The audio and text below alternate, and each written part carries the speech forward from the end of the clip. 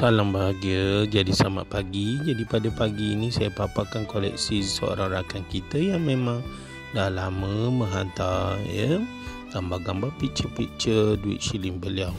Ya, nama atas kesibukan dan juga beberapa masalah saya lewatkan penghasilan video untuk beliau.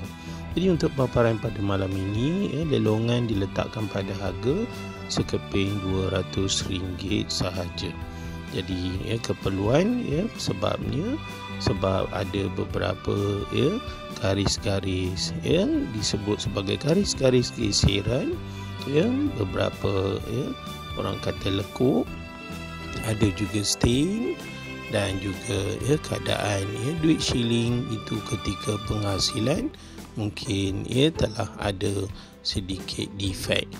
Jadi itulah sebut sedikit tentang ya duit shilling ini Ya, jadi kita sama-sama lah ya menonton video ini sambil-sambil kita membaca apa yang patut kita lakukan di ketika ini. Bersama-sama lah kita berperang dengan COVID-19 ini. Ya, jangan kita mengalah. Sebabnya sebab ya ancamannya boleh ya, menjadi lebih dahsyat jika kita lemah dari segi psikologi persediaan mental dan juga ya fizikal kita. Ya, walaupun kita dah ada vaksin dan juga booster, kita mesti set upkan minda kita supaya pada satu hari kita akan bebas daripada COVID-19 ini.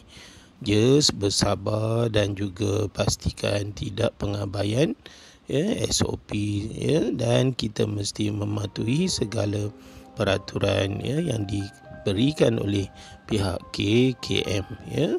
Jangan peduli tentang khabar angin dan sebagainya. Yang penting kita jaga kita ya. Sebabnya sebab ekonomi negara ini sangat bergantung kepada individu. Individu akan membentuk kumpulan. Kumpulan akan membentuk komuniti.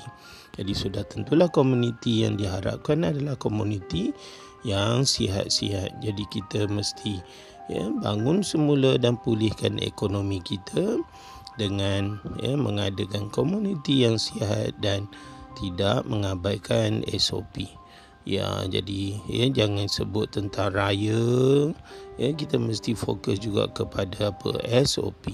Di raya kita disebut raya SOP yang ketat. Ya, sabar, sabar ya. Baru setahun lebih ya kita tidak beraya dengan sempurna. Jadi jangan jadikan itu sebagai alasan ya. Sebabnya sebab penularan ya Omicron ini ya Deltacron ya dan juga ya pelbagai lagi lah ya yang disebut-sebut oleh kerajaan ya bakal ya menjadi dahsyat jika kita tidak bersabar ya maksudnya pematuhan SOP itu patut dikekalkan ya patut dikonstankan ya dimalahkan jangan kita abaikan ya.